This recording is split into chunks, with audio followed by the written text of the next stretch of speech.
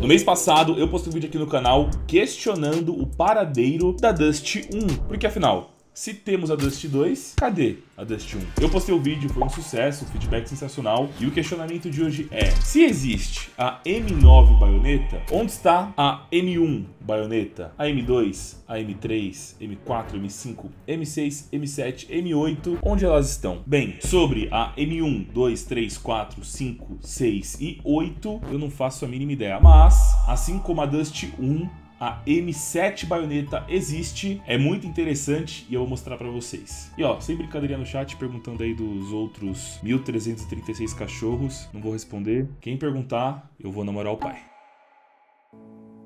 pleno 2022 e as pessoas ainda não sabem que o CSGO.net é o site mais confiável de abertura de caixas do mundo, o site com as melhores probabilidades do mercado. E esse mês utilize o cupom PLENO, P-L-E-N-O, para ganhar 40% de bônus. CSGO.net, cupom PLENO, link do site e do formulário na descrição. O Rian tem o inventário mais caro do Brasil. Avalie.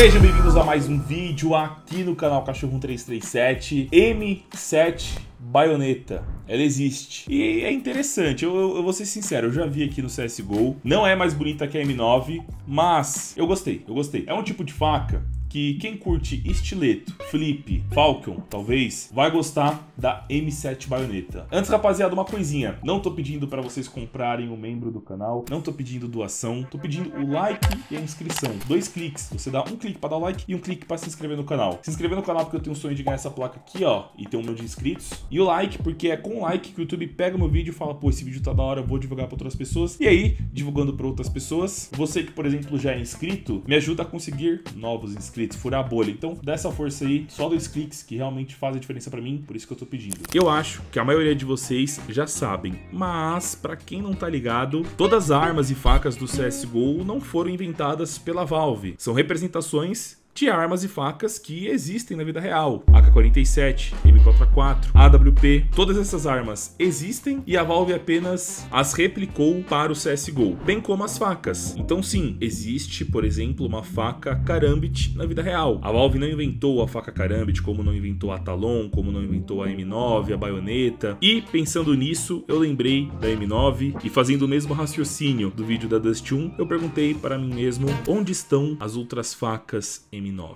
E aí eu descobri a existência da M7 baioneta e consegui encontrá-la dentro do CSGO, inclusive com skins. Hoje o CSGO possui 21 modelos diferentes para as facas. As duas facas padrões do jogo, a e a HTR. No dia 14 de agosto de 2013, baioneta, flip, Gut, Karambit e M9 chegaram ao jogo. No ano seguinte, outras facas foram sendo lançadas: Huntsman, Butterfly, Shadow Daggers, Bowie, Falcon. Em agosto de 2018, quatro novos modelos: Navadia, Ursus, Estileto e Talon. Em outubro de 2019, na CS20 Case, a Classic. Um mês depois, na Operação Teia Fragmentada, Paracord, Survival, Skeleton e Nomad. Eu falei tudo isso para mostrar para vocês que de tempo em tempo a Valve introduz no CSGO novos modelos de facas. E exceto a Classic Knife, que ela como é, foi inventada pela Valve há muito, muito tempo, todas as outras já existem na vida real. Mas afinal, e a M7?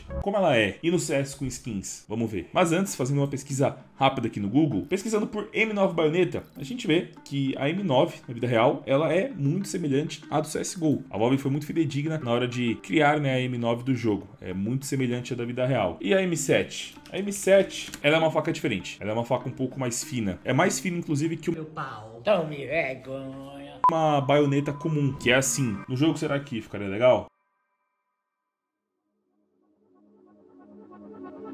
Essa é a M7 baioneta dentro do game. Aqui no caso uma vanilla sem nenhuma skin.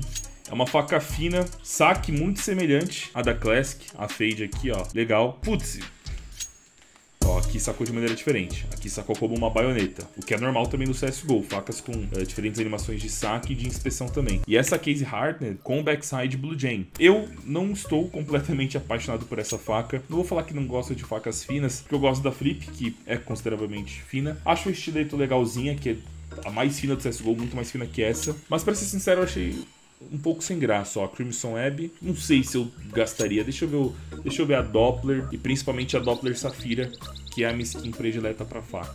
Vamos ver se eu mudo de opinião, ó. Tiger Tooth, Marble Fade agora sacou a faca com a mesma animação da paracorte. Lembrando que isso não é oficial, mas é algo muito provável de acontecer, visto que, como já disse, de tempo em tempo a Valve lança novos modelos, modelos que já existem no nosso mundo. Então a Valve simplesmente pega essas facas e implementa no CSGO, né? Ó, Doppler Phase 2, uma Peak Galaxy. Mano, é uma faca esquisita, cara. É uma faca que a lâmina é menor que o cabo. Ó, uma Phase 4, uma Fake Safira. Linda, hein?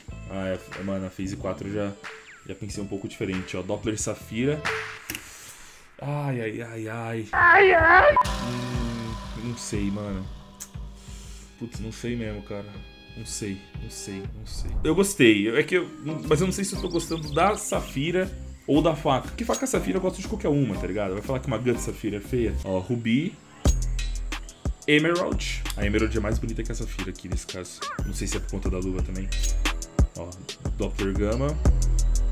Só para deixar claro, com o lançamento da M7 Baioneta, de início, essas skins Gamma Doppler, Doppler, Tiger Tooth, Marble Fade não seriam lançadas. A Valve tem uma regra que poucos sabem. Na real, quem assiste o canal há bastante tempo já sabe mas talvez vocês não tenham reparado. Quando uma nova faca é lançada, quando um novo modelo de faca é lançado, ele vem com a primeira coleção de skins de facas do CSGO. Quais são essas skins? Vanilla, que no caso é sem nenhuma skin, Fade, Slaughter, Crimson Web, Case Hardened, Night Strip, Blue Steel, Stained, Urban Masked, Boreal Forest, Scorched, Safari Mesh e Forest DPAT. Então não tem Safira Ruby, mas tem aquecimento de aço Blue Jane, Fade, 100% Fade, Crimson Web Factory Stat Track ou Crimson Web com alguma ou mais de uma teia, enfim, são outros patterns raros e interessantes. Ó, Freehand, essa é uma skin que flopou demais no CSGO, mano, a rapaziada não, não botou fé, cara. A skin Freehand veio com uma proposta legal, mas sei lá, o público não, não curte muito não. Outra faca que eu tenho a simulação aqui dela no CSGO é a KM2000. Ela é um pouco semelhante à M7, porém a lâmina é maior e a ponta não é arredondada. No jogo, ela é muito mais bonita que a M7, sendo sincero. Se assemelha a Ursus, porém com a lâmina um pouco mais magra e ao mesmo tempo mais comprida. Ó, a Fade, essa daqui dá um pau na M7, mano. Ó, Case Hardened, bem bonita também, bem bonita, Case Hardened, bem bacana. Slaughter, hum, mano, não, estou completamente apaixonado. Prefiro muito mais uma Butterfly, uma M9, uma Karambit, enfim. Mas não deixa de ser uma faca legal. Não deixa de ser uma faca muito bonita. Tá realmente muito acima da M7. Tiger Tooth. Comenta aí qual vocês acharam mais bonita, a M7 ou a KM2000. Ó, Marble Fade. E aí a gente né, vem com as possibilidades de Pattern Fire Ice, enfim. Phase 2, que eu sou apaixonado. Gosto muito mesmo, gosto muito. Phase 4, a Blue. Safira. Ruby. Emerald. Parece muito a Ursus, mano. Parece muito, muito a Ursus. Tem o saque da Ursus, mesma animação. Olha que legal a luva, cara. Uma Cobalt Skulls Green Version. Uma Doppler Phase 3. Uma Specialist Gloves. Parece ser uma Specialist Gloves Emerald também, bem bacana, bem legal. Freehand. Putz, a KM2000 é muito mais bonita, cara. É muito mais bonita. É muito, muito. E muito sexy. Desculpa. Desculpe! Tô sendo sincero. Enfim, rapaziada, comentem aí o que vocês acharam dessas faquinhas. Eu vejo muita possibilidade delas entrarem no CSGO. Quem me acompanha sabe que, né, essas minhas teorias podem parecer malucas, mas fazem sentido, é isso que eu tento mostrar para vocês. E eu já acertei muita coisa. Então, né? Fiquem de olho. Mas, se eu pudesse escolher, eu prefiro a KM, né? Óbvio que a M7 poderia ser um pouco melhorada, mas para ser fidedigno, né? Para ser exatamente igual a M7 da vida real, teria que ser assim. E assim eu não gostei tanto não. Eu não gastaria meu dinheiro com uma skin dessa. Mas é isso. Se você gostou, deixa o like, se inscreva no canal. Só lembrando, todos os dias, dois vídeos novos. Então, se você curte um conteúdo de qualidade relacionado a CSGO, esse é o canal perfeito para você. E é isso, manos. Eu, Rimo, ficando por aqui. Até um próximo vídeo no canal Cachorro 337. Falou!